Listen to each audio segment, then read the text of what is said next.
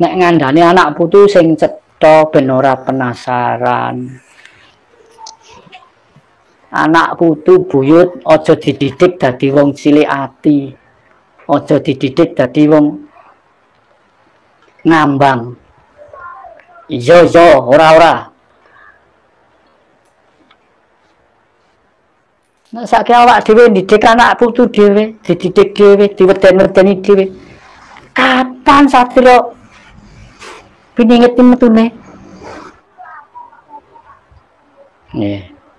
Wis ora usah basa-basi saiki. Wis ora usah basa-basi. Nek iya, ayo dikandakno iya, nek ora ayo dikandakno.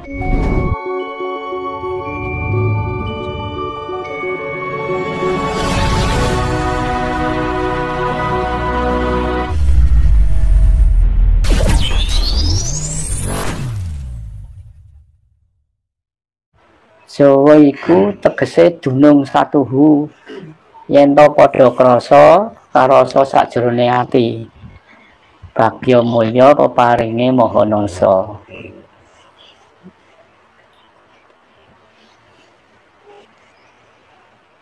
Dununge panembah ngaten.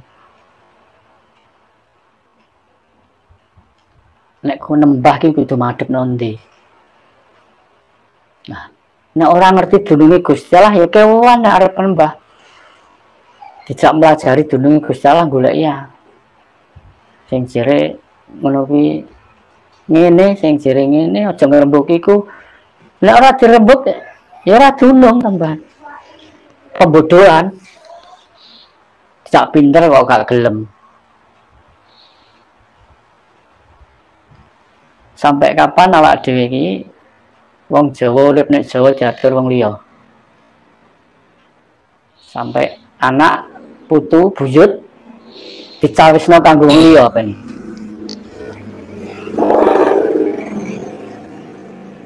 Eh. Kok nek diarani wong lemah gak gelem menesu.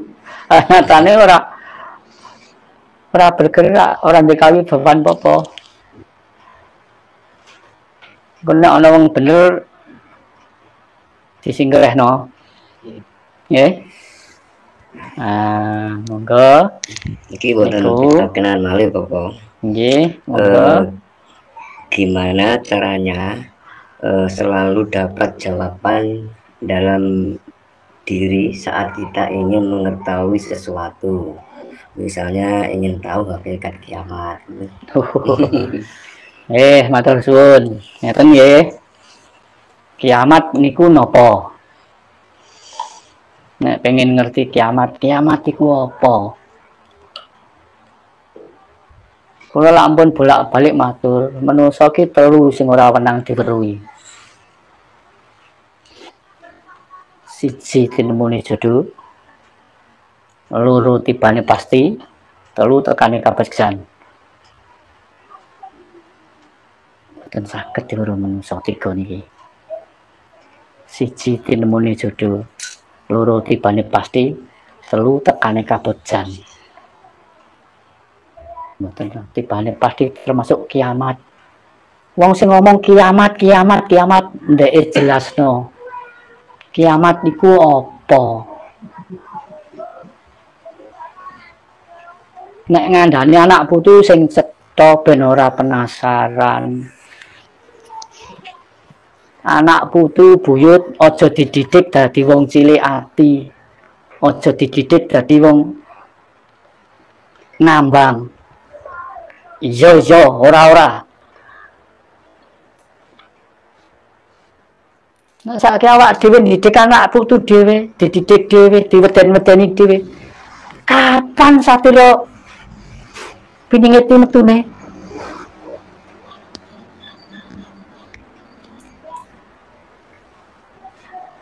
Satria sing dipingit atusan tahun niki lho. Satria piningit ku mboten kok dipingit dieman, Bu. Mboten dieman ta. Dipingit aja oleh metu. Jiwa niku jiwa kasatriane satria tanah Jawa. Tiang rumiyin kali saniki pun kepebih petane nek wong Jawa biyen nek sinau ngempeng sing digoleki gelar titel iku mesti paling ora R. Titel R. Raden Roh Adipeni. Ayo didik anak putu sing bener. Nek pengen mati besok munggah swarga ayo digoleki swarga ning ndi? Wae sapa? Swarga ki apa? Ora sah besok saiki wis ana swarga. Neraka saiki ya wis ana. Nggih. Dadi swarga neraka mboten usah besok sakniki pun enten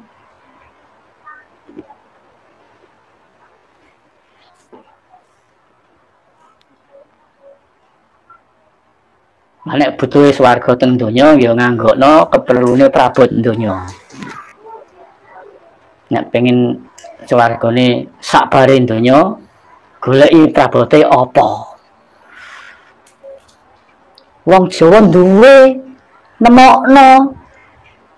Kok tambah tiru-tiru wae wong liya.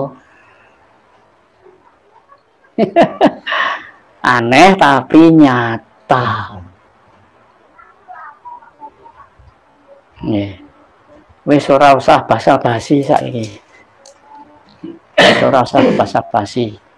Nek iya, ayo dikandakno iya, nek ora ayo dikandakno ora.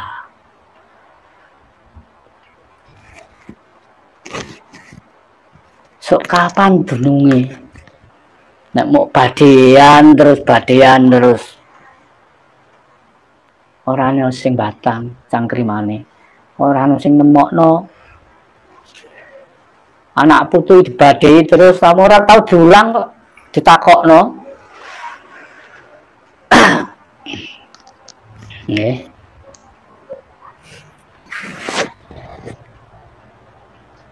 Aja cari aja cari dikandani jare wis seneng lah mbuktekno dhewe lah tambah seneng. Nggih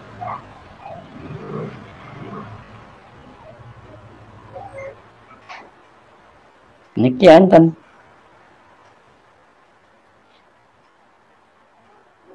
sing teng gegeman iki dereng kula colaken.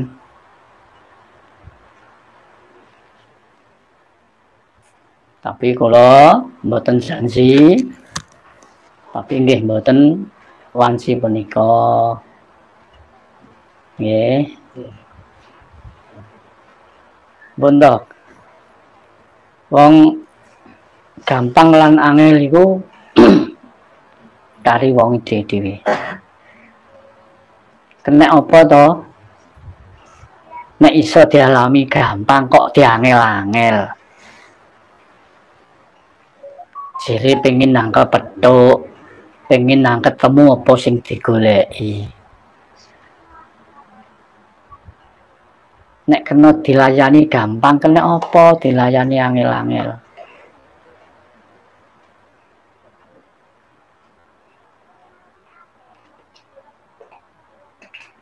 nek niate pengen didik ben ngerti didikan sing tenanan. Duduhno sing tenanan. Supaya anak putu besok ki ora kelangan arah. Eh supaya ora kelangan arah.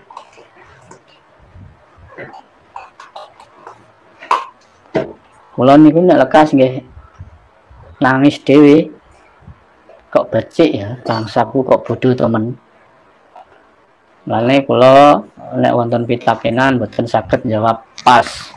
Mergi napa? Wong saat tasik kula mawon manungsa niku tasik gadah kelemahan, gadah kekurangan. Kula mboten ngandel manungsa mboten gadah kelemahan, mboten gadah kekurangan. Nih, apa malih mau sak kula man para leluhur para sepuh niku upama riyen kelemane mboten kecekel wong mancanegara mboten kados ngeten nggih Nah, tugasnya awak dewe ayo mbuntoni kelemane wong tua biyen. Alah-alah mendem jero mikul dhuwur. Tapi buka ngandakno kelemane wong biyen iki nek gak dikandakno saiki ora ngerti. Mergo napa? Ora ono ngerti kelemane wong Jawa nek gak wong Jawa dhewe. Kena apa leluhur kita mbah-mbah kita kok gelem dirangkul karo wong monco. Nih. Nih. Gak iso. Wong Jawa niku apa-apa duwe. Nah, senajan apa-apa duwe, kelemane enten kelemane.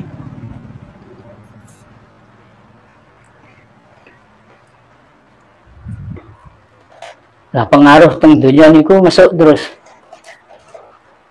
Nyerang terus. Sing arep mengaruhi. Lah pengaruh niku sing abot paling abot niku tiga. Harta tahta asmara. Orang kena dipengaruhi harta dipengaruhi tahta. Tahta kedudukan kekuasaan.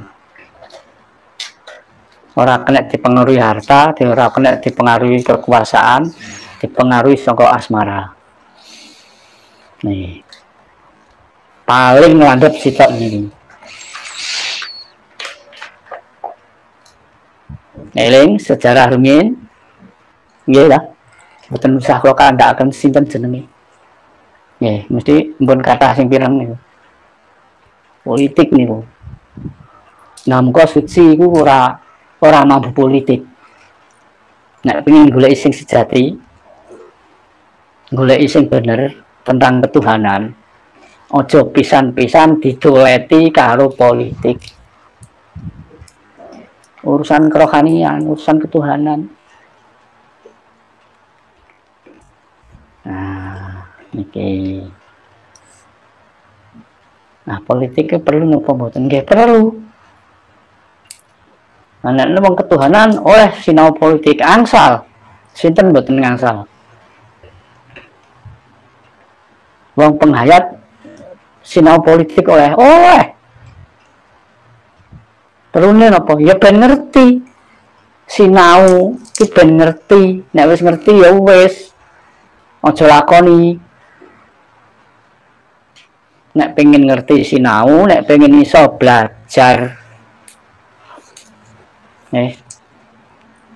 Wong penghayat wong kepercayaan kudu ngerti. Politik kudu ngerti. Mendak ra iso bedakno gak ngerti. Nggih tukang jogo kudu ngerti ilmune sing tukang maling tapi sing jaga aja melok maling niki